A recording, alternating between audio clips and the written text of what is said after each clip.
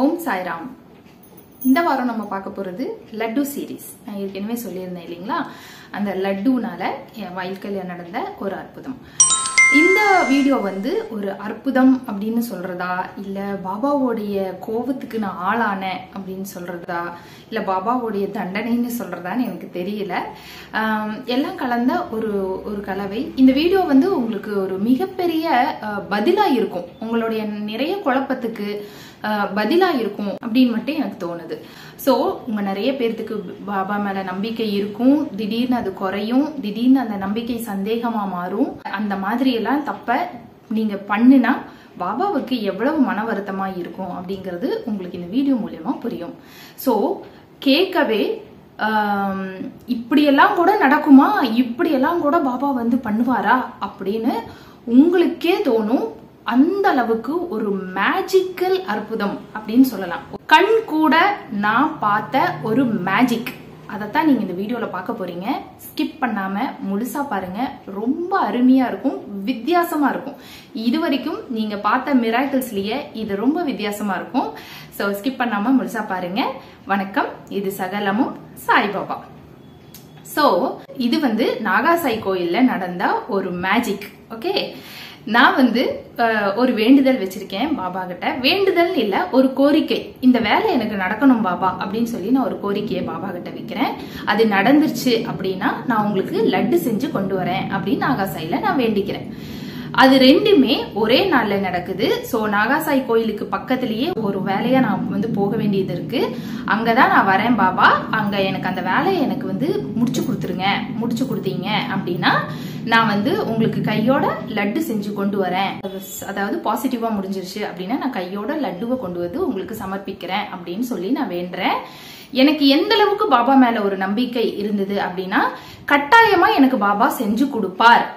அன்னைக்கு நம்ம போற காரியம் சக்சஸ்ஃபுல்லா நடக்கும் அப்படின்னு எனக்கு ஒரு முழு நம்பிக்கையில நான் வந்து போகும்போதே வந்து வீட்டுல இருந்து லட்டு செஞ்சு கொண்டு போறேன். அது- அதாவது அங்க போய் வேலை நடந்துருச்சு அப்படின்னா அப்படியே நாகசாய் கோயிலுக்கு போய் அந்த சந்தோஷத்தை பகிர்ந்து பாபா கிட்ட லட்டு கொடுத்துட்டு ரொம்ப நன்றி பாபா அப்படின்னு சொல்லிட்டு நம்ம வந்துடலாம் ஏன்னா நான் எந்த ஒரு சந்தோஷமான விஷயம் நடந்தாலும் லட்டு செஞ்சு பாபாவுக்கு கொடுத்துருவேன். அந்த மாதிரி அது ந- நல்லபடியா திருப்தியா நடந்துருச்சு அப்படின்னா பாபாக்கு லட்டு கொடுத்துட்டு தேங்க்ஸ் சொல்லிட்டு வந்துடலாம் அப்படின்னு சொல்லிட்டு கட்டாயமா எனக்கு பாபா செஞ்சு கொடுப்பார் அப்படிங்கிற ஒரு முழு நம்பிக்கையில நான் வீட்டுல வந்து லட்டு செஞ்சு கிளம்புறோம். நாங்க காலையில அங்க போயிட்டு மத்தியானம் கோயில்ல வந்து லட்டு கொடுத்துடலாம் அப்படின்ட்டு. ஆனா என் ஹஸ்பண்ட் என்ன பண்ணிட்டாரு? இது ஒரு ஒரு லீலை மாதிரி தான் வச்சுக்கோங்களேன் ஹஸ்பண்ட் என்ன பண்ணிட்டாரு? நேராக வந்து வண்டியை கோயிலுக்கு அனுப்பிட்டாரு. இப்ப நான் வந்து கேட்டேன் ஏன் கோயிலுக்கு போறீங்க? அப்படின்னா இல்ல அங்க கொஞ்சம் லேட் ஆகும். ஆபீஸ்க்கு வந்து இன்னும் கொஞ்சம் டைம் கழிச்சு தான் நம்ம போகணும். அதுக்குள்ள நம்ம வந்து பாபா கோயிலுக்கு போய் பாபாவை கும்பிட்டு அதுக்கப்புறமா நம்ம ஆபீஸ் போலாமே அந்த காரியத்தை தொடங்கலாமே அப்படின்னு சொன்னார். நான் வந்து உடனே டென்ஷன் ஆயிட்டேன். எனக்கு என்னன்னா முதல்ல அங்க போகணும். அந்த வேலை எனக்கு நடந்துருச்சு அப்படின்னா அதுக்கப்புறம் தான் பாபா வந்து பார்க்கணும். இப்படிதான் நம்ம வேண்டியிருந்தோம். இவர் வண்டியை நேரம் இங்கே விட்டுட்டாரே அப்படின்னு எனக்கு ரொம்ப டென்ஷன் ஆயிருச்சு. நான் சொன்னேன் இல்ல இல்ல நம்ம அங்க போயிட்டு அப்புறம் இங்க வரலாம் அப்படின்னு. இல்ல அங்க கொஞ்சம் லேட் ஆகும். நம்ம இங்க போயிட்டு அங்க போலான்ட்டு இவரு கொண்டு வந்து வண்டியை வந்து கூட்டுட்டாருங்க. எனக்கு உள்ளுக்குள்ள குழப்பம். என்ன லட்டு செஞ்சு கொண்டு வந்திருக்கேன். இந்தாங்க பாபா அப்படின்னு நான் கொடுத்துருக்கலாம். இல்லையா? ஆனா நான் அப்படி யோசிக்கலைங்க. நான் கொஞ்சம் வேற மாதிரி யோசிச்சுட்டேன். அது அங்க போய் பாசிட்டிவா நடந்துருச்சு அப்படின்னா மட்டும்தான் இங்க கொண்டு வந்து கொடுக்கறதா பேசிக்கிட்டோம். நான் வேண்டிக்கிட்டோம். இப்ப நேரம் இங்க இப்ப இந்த லட்டுவை கொடுக்கலாமா வேண்டாமா? கொடுத்துட்டு அங்க போய் ஒர்க்கை ஸ்டார்ட் பண்ணலாமா? இங்க கொடுத்துட்டு அங்க போய் நெகட்டிவா நடந்துருச்சு பாசிட்டிவா நமக்கு நடக்கல அப்படின்னா என்ன பண்றது? இந்த மாதிரி எல்லாம் நான் ரொம்ப அல்பத்தனமா யோசிச்சுட்டேங்க. அதுதான் நான் செஞ்ச பெரிய தப்பு. ஓகே இது வந்து என் ஹஸ்பண்டுக்கு தெரியாது என் அம்மாக்கு தெரியாது என் மனசுக்குள்ளேயே நான் வந்து கன்ஃபியூஷன்ல இருக்கேன். எங்க அம்மாட்ட சொல்றேன் இந்த லட்டுவை என்ன பண்ணலாம்? அப்படின்னு. லட்டுவை என்ன பண்ணலாம்னா பாபாக்கு தானே செஞ்சு கொண்டு வந்திருக்கேன் கொண்டு போய் கொடு அப்படின்னு சொல்றாங்க எங்க அம்மா. ஐயர் பூஜாரி வந்து நின்றுட்டு இருக்காரு. நான் என்ன பண்ணேன் ஒரு ஒரு எனக்கு வந்து முழு மனசாவே இல்லைங்க. ரொம்ப அரை மனசா நான் இருந்தேன்னு வைங்களேன். எனக்கு ஒரு அங்கலாப்புன்னு வச்சுக்கோங்களேன். அரை மனசா நான் வந்து அந்த லட்டுவை கொடுக்குறேன். எனக்கு முழு மனசா விருப்பமே இல்லை. ஆனாலும் வந்துட்டோமே என்ன பண்றது? இனி கொடுத்துதானே ஆகணும். கொடுத்தாலும் கொடுத்துட்டு போனாலும் காரியம் நடக்கும் அப்படின்னு நானே சமாதானப்படுத்திட்டு ஒரு அரை மனசா அந்த பூஜாரி கிட்ட அந்த லட்டு டப்பாவை நான் நீட்டுறேங்க. அந்த செகண்டுங்க அந்த பூஜாரி சித்திரமா என்னை பார்த்தாரு. என்னை இப்படி பார்த்துட்டுங்க கண்ணு கிண்ணெல்லாம் அவருக்கு செவந்து போச்சு. கண்ணுல செவந்து கோவமா என்னை பார்த்து எடுத்துட்டு போ உங்க லட்டை. யாருக்கு வேணும்? அப்படின்னு சொல்லி ஒரு சத்தம் போட்டாரு பாருங்க. அந்த சத்தத்துல நான் மிரண்டுட்டேன். எனக்கு என்னடா இந்த அந்த குரலுங்க அந்த பூஜாரி குரலே வித்தியாசமா இருந்தது. அவர் வாய்ஸ் அப்படி இருக்கவே இருக்காது. எல்லாத்துக்கும் முன்னாடியும் என்ன பயங்கரமா திட்டுறாரு. எடுத்துட்டு போ உன் லட்டு. யாருக்கு வேணும்? எடுத்துட்டு போ உன் லட்டை. அப்படின்னு சொல்லி பேசுறாருங்க. நான் ஒரு நிமிஷம் அப்படியே ஸ்டன் ஆகி நின்னுட்டேன்.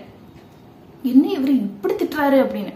அதே சமயத்துல எனக்கு மனசுக்குள்ள ஐயோ இத்தனை பேர்த்துக்கு முன்னாடி நம்மளை இப்படி திட்டுறாரு இப்ப எல்லாரும் நம்மள தானே பார்த்துட்டு இருப்பாங்க அப்படின்னு சொல்லிட்டு நான் இப்படியே சைடா நம்மளுக்கு எப்படி இருக்கும்? நாலு பேர்த்துக்கு முன்னாடி திட்டினா நம்ம என்ன நினைப்போம்? ஐயோ எல்லாரும் இப்ப நம்மள எல்லாம் பார்ப்பாங்க அப்படின்னு சொல்லிட்டு என்ன பாக்குறாங்களா அப்படின்னு சொல்லிட்டு இப்படி திரும்பி பாக்குறேன் யாருமே என்னை கவனிக்கவே இல்லை. எல்லாரும் அவங்கவுங்க வேலையை பார்த்துட்டு இருக்காங்க. விழுந்து கும்பிடுறவங்க விழுந்து கும்பிட்டு இருக்காங்க தியானம் பண்றவங்க தியானம் பண்ணிட்டு இருக்காங்க சலனமே இல்லை யாருமே என்னை பார்க்கல. என்னடா அதுன்னு உடனே நான் எங்க அம்மாவை பாக்குறேன் எங்க அம்மாவும் வந்து கண்ணை மூடிட்டு கும்பிட்டே இருக்காங்க. என் ஹஸ்பண்ட பாக்குறேன் அவர் முகத்திலேயே சலனமே இல்லை.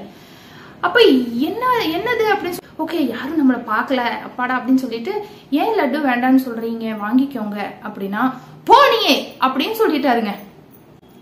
எனக்கு உடனே பட்டுருச்சு. ஐயோ பாபா தான் கோச்சுக்கிட்டாரு. தப்பு பண்ணிட்டோம் நான் தப்பு பண்ணிட்டோம். நம்ம வந்து இப்படி சொல் நம்ம அரமனசா தானே கொடுத்தோம். நம்ம சந்தோஷமா கொடுக்கலையே. பாபா கோச்சுக்கிட்டாரு போல இருக்குன்னு சொல்லிட்டுங்க. மெதுவா எல்லாரும் வேகமா போறாங்க. நான் மெதுவா அடி எடுத்து வைக்கிறேன். சுத்தி வர்றதுக்கு கொஞ்சம் டைம் எடுத்துக்கிட்டேன்னு வைங்களேன். அதை சுத்தி வர்ற மெதுவா நடந்துக்கிட்டேன் மனமுறிய அவர்கிட்ட மன்னிப்பு கேட்கிறேன் நான் நினைச்சது தப்புன்னு எனக்கு பட்டுருச்சு அந்த சமயத்துல. ரொம்ப அல்பத்தனமா யோசிச்சுட்டேன் பாபா. எனக்கு உங்க மேல நம்பிக்கை இருக்கு. நீங்க பண்ணுவீங்க பாபா. தயவு செய்து என் லட்டுவை ஏத்துக்கோங்க. நான் உங்களுக்காக தான் நான் செஞ்ச கஷ்டப்பட்டு செஞ்சு கொண்டு வந்திருக்கேன். நிறைய இருக்கு. தயவு செய்து வாங்கிக்கோங்க பாபா அப்படின்னு சொல்லிட்டு அழுதுகிட்டே நான் அந்த பிரகாரத்தை சுத்தி வந்தேன். சுத்தி வந்து உண்மையாலுமே நான் ரொம்ப பயந்துட்டேன். அந்த பூஜாரி பார்க்கவே எனக்கு ரொம்ப பயமா இருந்தது. முகமெல்லாம் செவந்து கண்ணுக்கு இன்னெல்லாம் பயங்கரமா இருந்தது. அப்ப நான் சுத்தி வரும்போது பார்த்தா அதே பூஜாரி அப்படியே சாந்தமாயிட்டாருங்க. ரொம்ப சாந்தமாயி கூலானாரு ஆனாலும் நான் டப்பாவை நீட்டவே இல்லை. இப்படியே கையில வச்சுக்கிட்டே நின்றுகிட்டு இருந்தேன் கொஞ்ச நேரத்துல அதே பூஜாரி என்னை பார்த்து அப்படின்னு சிரிச்சுட்டு அப்படின்னு கையை நீட்டினார். அந்த டப்பாவை கொடு அப்படின்னு. நான் டப்பாவை நீட்டினோடனே வாங்கி அதுலேருந்து அள்ளினாரு லட்டுவை அள்ளி பாபா பாதத்துல வச்சுட்டு டப்பாவை திருப்பி கொடுத்துட்டாரு. லட்டுவை வாங்கினதுக்கு அப்புறம் தான் எனக்கு அவ்வளோ திருப்தியா இருந்தது சந்தோஷமா இருந்தது. ஓகே பாபா என்னை மன்னிச்சிட்டாரு அப்படின்னு சொல்லிட்டு இல்ல வந்து எல்லாத்துக்கும் அந்த லட்டுவை கொடுத்துட்டேன். கொடுத்து முடிச்சதுக்கு அப்புறமா அப்பையும் என் என் உடம்புல வந்து அந்த பதட்டம் வந்து குறையலை ஹஸ்பண்டு வந்து என்னாச்சு? அப்படின்னு கேட்குறாங்க அவ்வளோ பேர்த்துக்கு முன்னாடி என்ன அப்படி சத்தம் போட்டாருல நல்ல வேலை. யாரும் பார்க்கல. இல்லைன்னா எனக்கு எப்படி இருந்தது தெரியும்? எனக்கு ரொம்ப கஷ்டமா போச்சு அப்படின்னு. எங்கம்மா எப்ப திட்டினாரு? எப்ப வாங்க மாட்டேன்னு சொன்னாரு? கொடுத்தா வாங்குறது தானே அவர் வேலையே. அவர் ஏன் வேண்டான்னு சொல்ல போறாரு? அவர் ஏன் திட்ட போறாருன்னு எங்கம்மா கேக்குறாங்க. அப்ப நான் சொன்னேன் அப்ப பூஜாரி திட்டுனாரே அவ்வளவு சத்தம் போட்டு ஒரு கத்து கத்துனாரே உங்க ரெண்டு பேத்துக்கு காதே கேட்கலையா என்ன நீங்க அப்படி மூழ்கிட்டீங்களா பக்தியில? அப்படின்னு நான் கேக்குறேன். ஏய் சத்தியமா சொல்றேன். நீ சொல்ற மாதிரி பூஜாரி சத்தம் போட்டது எனக்கு காதே கேட்கல எங்களுக்கு அப்படி எதுவுமே தெரியலையே. அப்படின்னு சொன்னாங்க பாருங்க. அப்பத்தான் எனக்கு புரிஞ்சுது பா பூஜாரி உடம்புல இறங்குனது பாபா. அதே சமயத்துல அவரு சத்தம் போட்டு என்னை திட்டுனது எனக்கு மட்டும்தான் கேட்டுச்சு. என்னை சுத்தி இருக்கிற யாருக்குமே அது கேட்கல அப்படின்னு எனக்கு அதுக்கப்புறமா தான் புரிஞ்சுது. அப்பதான் நான் வந்து யோசிச்சேன் ஓ அதனாலதான் கோயில்ல யாருமே என்னை பார்க்கவே இல்லையா திரும்பி பார்க்கவே இல்லையா? ரியலி ஒரு மேஜிக் மாதிரி இருந்தது. நம் நடந்தா மட்டும்தான் உனக்கு லட்டு கொண்டு வந்து தருவேன் அப்படின்னு நீ சொன்னதுக்கு அப்புறம் நம்பிக்கையே இல்லை அப்படின்னு ஆனதுக்கு அப்புறம் உன் லட்டை நான் எதுக்கு வாங்கணும்? எடுத்துட்டு போ உன் லட்டு. யாருக்கு வேணும்? அப்படின்னு சொல்லி ஒரு சத்தம் போட்டாரு பாருங்க. உண்மையா பயங்கரமான அதிர்ச்சியா இருந்தது. பாபா கண்டிப்பா பண்ணுவாருங்கிற நம்பிக்கையோட தான் வீட்டுல இருந்து கையோட லட்டு செஞ்சேன். அந்த காரியம் நடந்தாலும் நடக்காட்டியும் அந்த லட்டுவை நான் பாபாவுக்கு சமர்ப்பணம் பண்ணிருக்கணும் அது பண்ணுனா தான் அது முழுமையான நம்பிக்கை. ஆனா நான் அது நடக்காமையே எப்படி பாபாவுக்கு லட்டு கொடுக்கறது? லட்டு கொடுத்துட்டு போனதுக்கு அப்புறம் நடக்காம போயிடுச்சுன்னா என்ன பண்றதுன்னு ரொம்ப ரொம்ப வந்து அல்பத்தனமா யோசிச்சுட்டேன். அந்த அந்த சிந்தனைக்கு எனக்கு கிடைச்ச பரிசு தான் அந்த தண்டனை. இது லைஃப்ல ஃபர்ஸ்ட் டைம் நான் பாபாவுடைய கோவத்துக்கு ஆளான அவரோட கோவத்தை கண் கூட நான் பார்த்தேன். பாபா அவ- ஒரு செகண்ட் அவர் உடம்புல இறங்குனதுனால அந்- அந்த சமயத்துல ரொம்ப ஆக்ரோஷமா மாறிட்டாரு. ஆனா அவர் ஆக்ரோஷமா என்னை திட்டுனது எனக்கு மட்டுமே தெரிஞ்சது வேற யாருக்குமே தெரியல அப்படிங்கிறது எனக்கு அப்புறமா தான் தெரிஞ்சது. அப்பதான் நான் வந்து பாபாவுக்கு நன்றி சொன்னேன். ஏன்னா என்னை யார் முன்னாடியும் அவர் ஹியூமிலேட் பண்ணல. அதாவது அவருக்கு எந்த அளவுக்கு கருணை இருக்கும் அப்படின்னு நினைச்சு பாருங்க. என்னை திட்டணும்னு பிரியப்படுறாரு. ஆனா நாலு பேர்த்துக்கு முன்னாடி திட்டுனா இவ மனசு நோகும் அப்படிங்கறதையும் அவர் தெரிஞ்சிருக்காரு. எவ்வளவு அன்பு என் மேல வச்சிருந்தா அத கூட பார்த்து நிதானமா எனக்கு மட்டும் தெரியற மாதிரி கோவிச்சிருப்பாரு அப்படின்னு நினைக்கும் போது அப்பாவுக்கு எவ்வளவு பெரிய மனசு அந்த பெரிய மனச மனசு நமக்கு இல்லாம போச்சே எவ்வளவு அல்பத்தனமா நம்ம யோசிச்சுட்டோம்னு சொல்லிட்டு நான் ரொம்ப வருத்தப்பட்டேங்க. கோவப்பட்டாரே தவிர அதே கோவத்தோட அவர் இருக்கல. கோவப்பட்டு நீ செஞ்சது தப்புன்னு எனக்கு எனக்கு உணர்த்தின அடுத்த அஞ்சாவது செகண்டு அந்த கோவம் அவருக்கு தணிஞ்சிருச்சு. தணிஞ்சு என்னோட மன்னிப்பை ஏத்துக்கிட்டாரு. ஏத்துக்கிட்டு என் லட்டு நான் கொடுத்த லட்டுவையும் அவர் ஏத்துக்கிட்டாரு. அதுதான் வந்து மிகப்பெரிய மனசு. அதுக்கு தான் மிகப்பெரிய மனசு வேணும் இல்லையா? அப்பா அப்படின்னு நம்ம சொல்றோம்னா அப்பா வந்து தன் மகள் என்ன தப்பு பண்ணாலும் அதை கண்டிப்பாரு. திட்டுவாரு. ஆனா அதே சமயத்துல அதை மறந்து உடனே மன்னிச்சிருவாரு. அதுதான் அப்பா அம்மா. அம்மா அப்பானா அதுதான். எத்- ஆயிரம் தப்பு பண்ணாலும் அந்த தப்ப முதல்ல கண்டிப்பாங்க.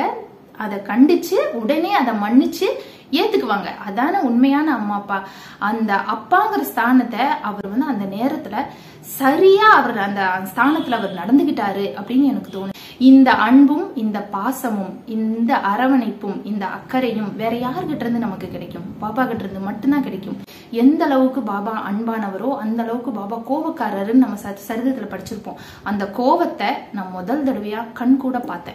அவருக்கு நம்ம கிட்ட இருந்து கேட்கிற ஒரே தட்சணை நம்பிக்கையும் பொறுமையும் தான்.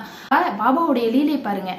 நம்பிக்கையோட லட்டு செஞ்சு கொண்டு வந்து கொடுத்தியே அது நடந்ததுக்கு அப்புறம் தான் லட்டு கொடுக்குறியா? இல்ல நடக்காமையும் லட்டை கொடுத்துட்டு போறியான்னு பார்க்கலான்னு என்ன சோதிக்க என்னோட நம்பிக்கையை சோதிக்க அவர் வச்ச டெஸ்ட் அது. ஓ நிறைய பேர் சொல்றீங்க பாபா மேல எனக்கு நம்பிக்கையே குறையுது. நான் என்ன வேணாலும் நீங்க பண்ணுங்க பாபாவை எவ்வளவு வேணாலும் திட்டுங்க. ஆனா நம்பிக்கையை மட்டும் இழந்துராதீங்க திரும்பவும் சொல்றேன் நிறைய பேர் சொல்றீங்க உங்களுக்கு எல்லாமே நடக்குது. இல்ல நடக்காமையும் இருந்திருக்கு. நடக்கவே இல்லைனாலும் நான் பாபா மேல நம்பிக்கையை இன்னமும் வச்சுக்கிட்டு இருக்கேன். அப்படின்னா அதுக்கு காரணம் இந்த சம்பவம் தான் சோ சோதனைகள் வரத்தான் செய்யும்.